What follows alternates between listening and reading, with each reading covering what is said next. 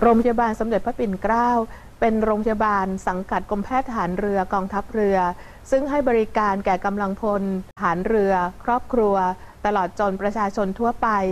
จนเป็นที่ยอมรับและมีผู้มาใช้บริการเป็นจำนวนมาก ดังนั้นเพื่อรองรับผู้รับบริการที่เพิ่มขึ้นอย่างต่อเนื่อง และเป็นการเพิ่มศักยภาพของการบริการทางการแพทย์ เพื่อให้เกิดประโยชน์สูงสุดแก่ผู้รับบริการ กองทัพเรือ กรมแพทย์ทหารเรือจึงได้อนุมัติให้โรงพยาบาลสมเด็จพระปิ่นเกล้าดำเนินโครงการพัฒนาสู่การเป็นโรงพยาบาลตติยภูมิ ที่มีความเป็นเลิศทางการแพทย์ ปัจจุบันได้มีการก่อสร้างอาคารใหม่ขึ้น 2 อาคารเพื่อรองรับการบริการดังกล่าว ประกอบด้วยอาคารผู้ป่วยนอก และอาคารพิเคราะห์บำบัดโรค ซึ่งสามารถจะรองรับการบริการทางการแพทย์ได้ครบทุกสาขา รวมทั้งการบริการตรวจวินิจฉัย ทางห้องปฏิบัติการ และรังสีวินิจฉัยในอนาคตอันใกล้ก็จะมีการเปิดให้บริการเป็นศูนย์ความเป็นเลิศทางการแพทย์ด้านต่างๆ ได้แก่ ศูนย์ทางด้านจักษุกรรม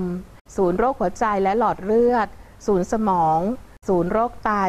ศูนย์บริการโลหิต ที่สำคัญและเป็นความภาคภูมิใจของโรงพยาบาลก็คือ ศูนย์เวชศาสตร์ความดันบรรยากาศสูง ทั้งนี้ เพราะโรงพยาบาลสมเด็จพระปิ่นเกล้าเป็นโรงพยาบาลของกองทัพเรือที่มีความเชี่ยวชาญชำนาญในการรักษา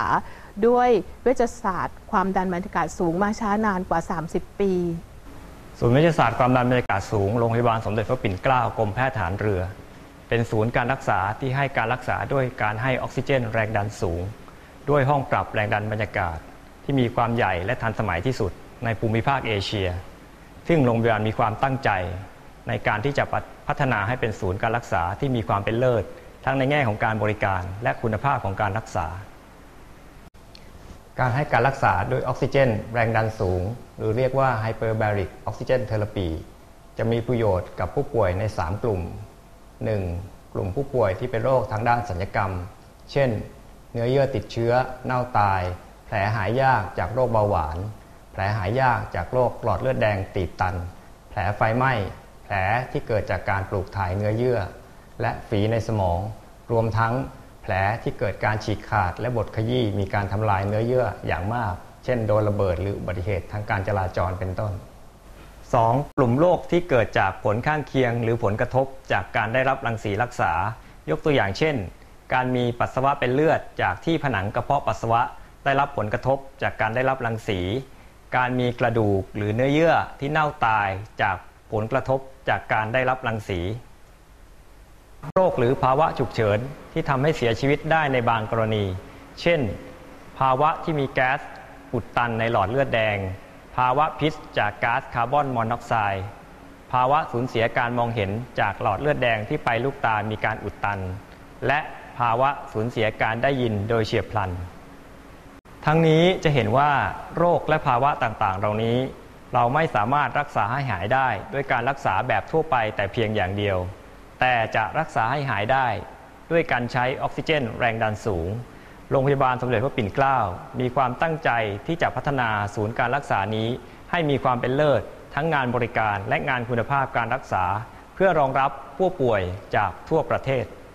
จากการที่โรงพยาบาลสมเด็จพระปิ่นเกล้ามีการพัฒนาอย่างต่อเนื่อง ทั้งทางด้านบุคลากรทางการแพทย์ และก็อาคารสถานที่ แต่เรายังมีการต้องการเรื่องของอุปกรณ์ทางการแพทย์ แล้วก็เครื่องมืออีกจำนวนมากนะคะ เราจึงได้มีการจัดโครงการการกุศล ปิ่นเกล้าชาริตี้ 2015 ขึ้น ในวันอาทิตย์ที่ 1 มีนาคม 2558 ที่โรงพยาบาลสมเด็จพระปิ่นเกล้า โดยในเวลา 15 นาฬิกา ได้มีการจัดฟุตบอลการกุศล ระหว่างทีม All Star ช่อง 3 และทีม Navy Star ขึ้น โดยจำหน่ายบัตรในราคาใบละ 250 บาท และในช่วงเย็นเชิญชมมินิคอนเสิร์ต โดยศิลปินชื่อดัง อาทิ ก้องสหรัถ แกรนด์ The Star และนก KPN ร่วมกับการทานอาหารดินเนอร์สุดหรู แบบ inter table ในบรรยากาศ outdoor โดยจำหน่ายบัตรในราคาใบละ 2,500 บาท ผู้ที่สนใจสามารถติดต่อซื้อบัตรได้ที่ ศูนย์รับบริจาคโรงพยาบาลสมเด็จพระปิ่นเกล้า เบอร์โทรศัพท์ 02-475-2576 ทางโรงพยาบาลหวังเป็นอย่างยิ่งว่า จะได้รับการสนับสนุนจากทุกท่าน เพราะน้ำใจจากการให้สร้างสุขได้ไม่สิ้นสุดค่ะ ปิ่นเกล้า Charity 2015 น้ำใจจากการให้สร้างสุขได้ไม่สิ้นสุด